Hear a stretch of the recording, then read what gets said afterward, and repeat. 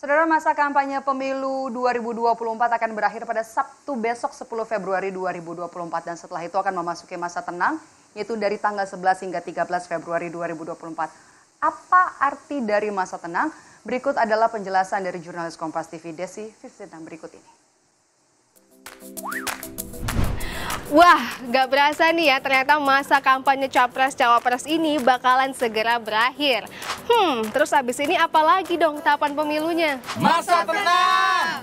Ya bener banget, masa tenang berlangsung selama tiga hari sebelum pemungutan suara. Dan pada periode pemilu tahun ini, masa tenang akan berlangsung pada 11 hingga 13 Februari 2024. Sebenarnya apa sih masa tenang itu? Nah, masa tenang adalah masa di mana semua aktivitas kampanye tidak boleh dilakukan. Jika ada yang tetap berkampanye, akan dijatuhkan pidana paling lama satu tahun dan denda paling banyak 12 juta rupiah. Tuh, makanya jangan sampai dilanggar ya. Selama masa tenang ini, semua media dan lembaga penyiaran juga dilarang menyiarkan berita, iklan, rekam jejak, atau bentuk lainnya yang menguntungkan maupun merugikan peserta pemilu. Gak cuma itu aja, lembaga survei juga dilarang mengumumkan hasil survei atau pendapat tentang pemilu di masa tenang.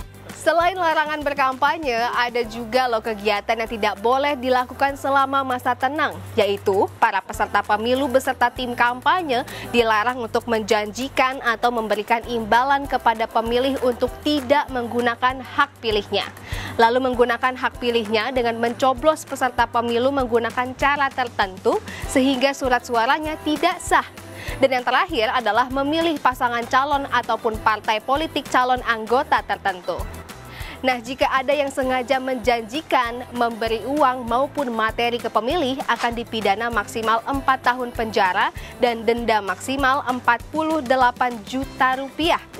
Jadi ingat ya, untuk para peserta pemilu, tim sukses relawan dan juga para simpatisan di masa tenang ini, stop segala aktivitas kampanye. Mari ciptakan pemilu damai yang adil dan tanpa kecurangan.